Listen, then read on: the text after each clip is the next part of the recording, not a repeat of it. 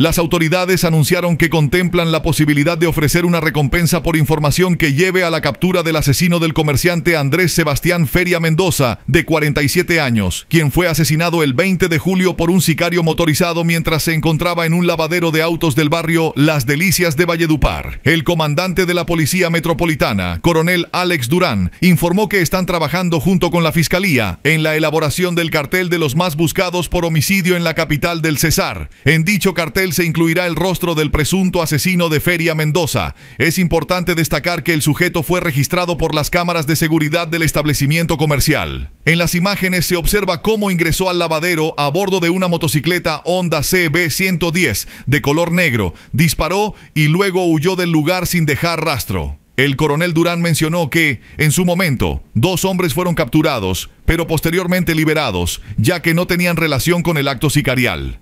Ayer, en medio del dolor de sus familiares, el comerciante fue sepultado en el municipio de San Diego, Cesar, su tierra natal. CNC Noticias conoció que sus parientes están solicitando a las autoridades que ubiquen al asesino para que este crimen no quede impune.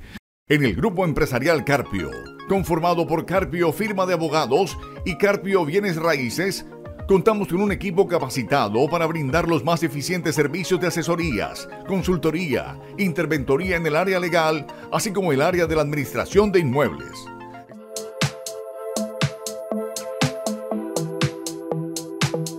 Contáctanos al 316-666-1017.